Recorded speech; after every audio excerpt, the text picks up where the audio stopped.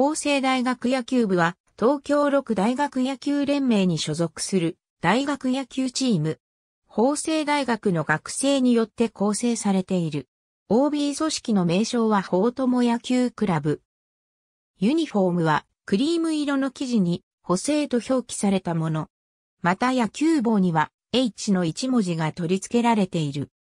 1930年、東京六大学野球で初優勝を果たした当時の野球部優勝した1930年、秋季リーグ戦でのワンシーン野球部初優勝時のエースだった若林忠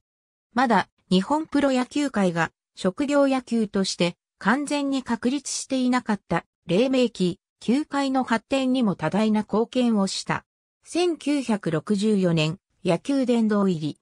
東京六大学リーグ戦が始まった1925年、周期は1分けのみの10敗で再開からのスタートだった。その後も高選手はいながら2位にもなることなく、苦戦が続いたが、首相だった藤田信夫が監督に就任し、ハワイから若林忠氏が入学すると一躍、総計名に割って入り1930年、秋季リーグ戦で初優勝、以後若林在学中に3度の優勝を果たし、第一強権時代を迎えた。藤田はその後も野球部長として、生涯野球部の発展に尽くし、法政野球部の父と呼ばれている。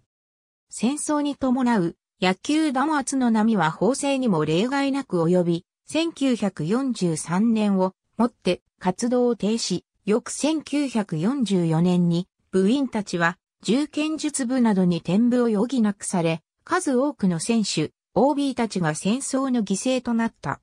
1945年5月23日夜の空襲によって当時グラウンドのバックネット裏にあった合宿所などを消失する被害も受けた。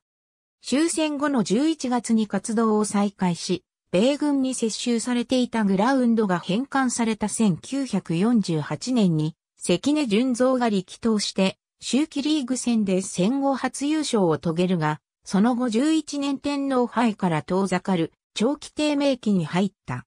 服部力監督のもと山本和義、室山幸之助らが活躍して1960年春季に久々の優勝を果たした頃から優勝争いの常連となっていった。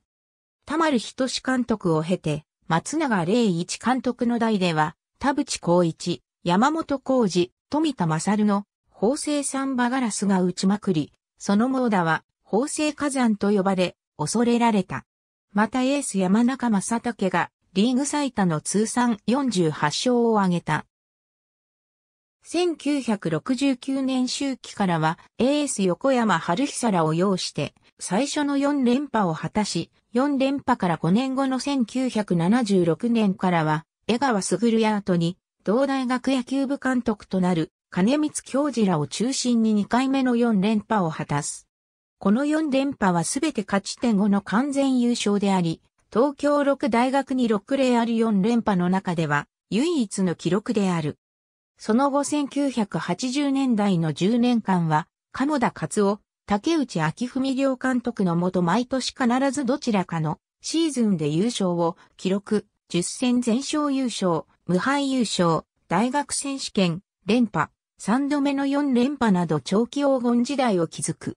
1990年代初頭に一時低迷するも、山中正武が監督に就いた1994年から再び毎年優勝を重ねる強い法制が復活した。